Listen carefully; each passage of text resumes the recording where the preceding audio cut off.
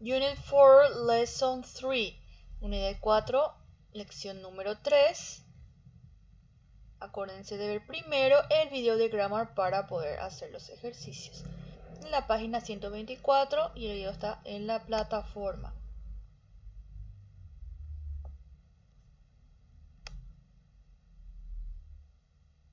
Tenemos, vamos a ver primero este apartado de Word of English. A lot of English words have more than one meaning. Can, for example, means be able to. I can speak English. Be possible to. Can you help me? Be able to. Can you go to the toilet? An object. That's a can of Coke. En el mundo del inglés, las palabras pueden tener más de un significado. Can, por ejemplo, significa be able to, o sea, estar disponible para, o sea, ser capaz de hacer algo. Por ejemplo, I can speak English, yo puedo hablar inglés. Be possible to, que sea posible de hacer algo. Por ejemplo, can you help me? ¿Puedes ayudarme? Be allowed to, que puede estar permitido para hacer algo. Por ejemplo, can I go to the toilet? ¿Puedo ir al baño? Y también puede ser un objeto, an object, That's a can of Coke. Esa es una lata de Coca-Cola. Entonces vemos true or false. Nos dice can or can't is the same for all persons. Can y can't es lo mismo para todas las personas. Short answer are yes I can and no I can't. Use can to express ability, possibility and permission. Entonces, de acuerdo al video que vimos en grammar, o en la página 124 vamos a poner true or false en este ejercicio. Ahora vamos a completar con Kenny Kent escuchando el siguiente audio en el ejercicio B. Audio 4.7 1. I can't dance very well, but my wife can. She's a very good dancer. 2. My mother can cook really well. Her food is delicious. 3. My best friend can't play rugby or handball. He doesn't like team sports. 4. I can skate, but I can't ski at all. Skiing is too difficult. 5. My friends can play soccer very well. They play every weekend. 6. Can you do any martial arts? No, I can't. Muy bien, luego de completar nos vamos al siguiente que nos dice Modify the sentences in B to make them true for you. Vamos a modificar las oraciones aquí para hacerlo lo más real posible para cada uno de nosotros. Por ejemplo, I can't dance very well, no puedo bailar muy bien. Si esto es cierto, dejamos así. Si no es cierto, cambiamos can't por can. Entonces lo mismo haremos con los demás. Vamos al siguiente ejercicio donde vamos a ver un video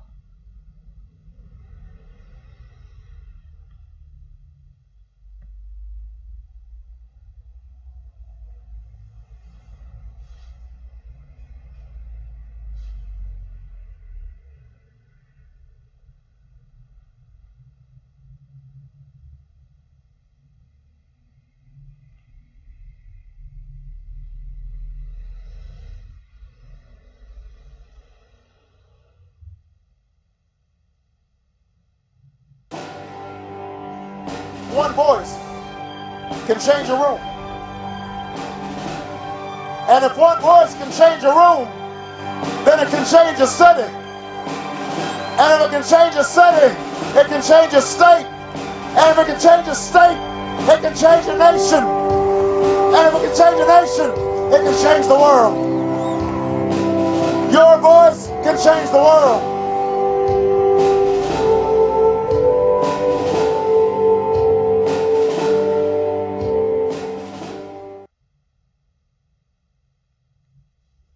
Entonces ese era un video sobre el expresidente Barack Obama.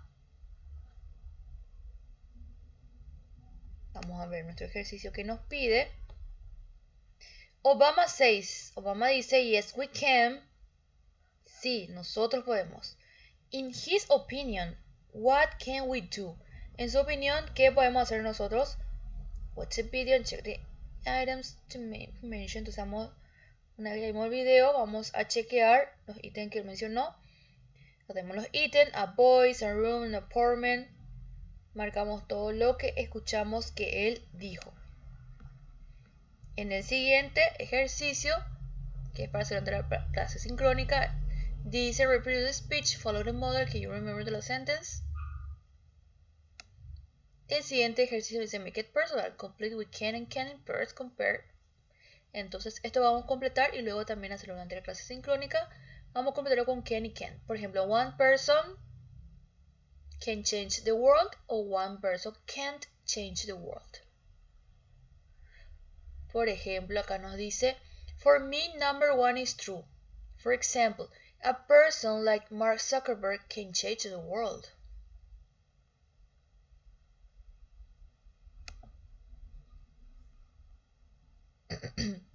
Vamos al siguiente ejercicio.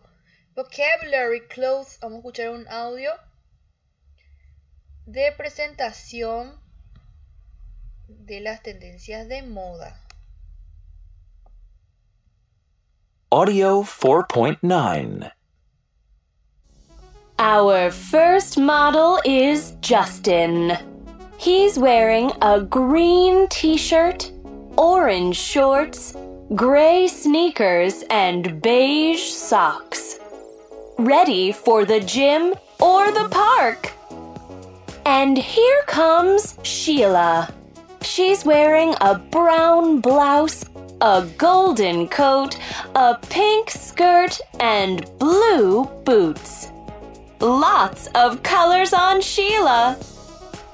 Next, we have Dylan in a blue suit. Nice blue pants.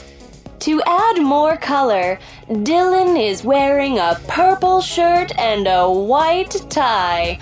Blue shoes finalize the formal look. Formal and modern. That's Dylan. Finally, here comes Marissa. Marissa is a picture of summer. She's wearing a yellow dress and she guarantees glamour wearing a silver belt and black sandals. She's ready for the night. Now, please welcome the man, the one and only Jacobelli Klein Karen.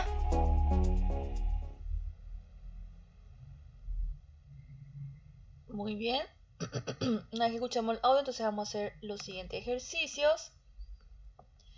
Dice, match 1 to 6 to the clothes items, then listen again, check in the circle. If stress vowel sound, if the clothes color are similar or if they aren't. Ok, tenemos S para similar y NS para not similar. Pero antes tenemos que parear los ítems de la ropa. Por ejemplo, acá tenemos, dice primero, a silver bird. Silver belt. Un cinto que es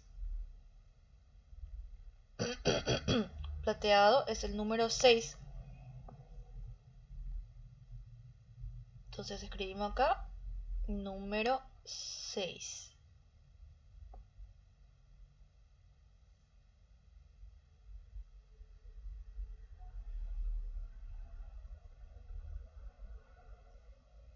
Bueno, acá entonces está NS non similar. ¿Por qué? Porque solamente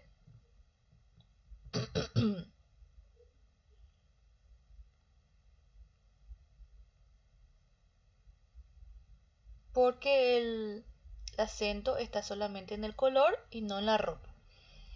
Por ejemplo, tenemos el siguiente.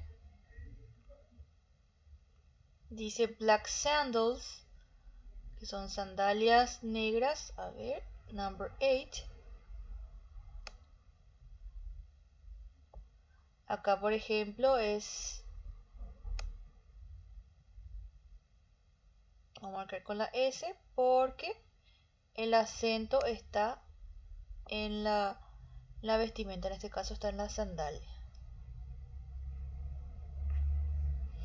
Vamos a ver otro más. Green t-shirt, la remera, color, vamos a ver otro. Em, blue pants, pantalones azules, acá está. Número 4. Esto, por ejemplo, ninguno de los dos tiene acento, entonces no marcamos nada. Entonces, encerrar en círculo cuando el acento está marcado en la NS, que debe ser el acento de el color. Y si está, el acento está marcado, por ejemplo, en la ropa, entonces marcamos ese. Ahora vamos a hacer el siguiente ejercicio.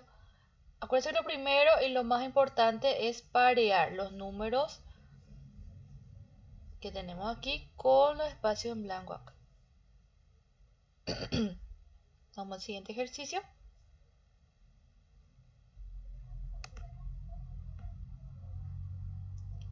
Estos tres ejercicios son para hacer durante la clase sincrónica, entonces vamos a ver este apartado de Common Mistake que nos dice She always wears a green shirt and gray pants to school.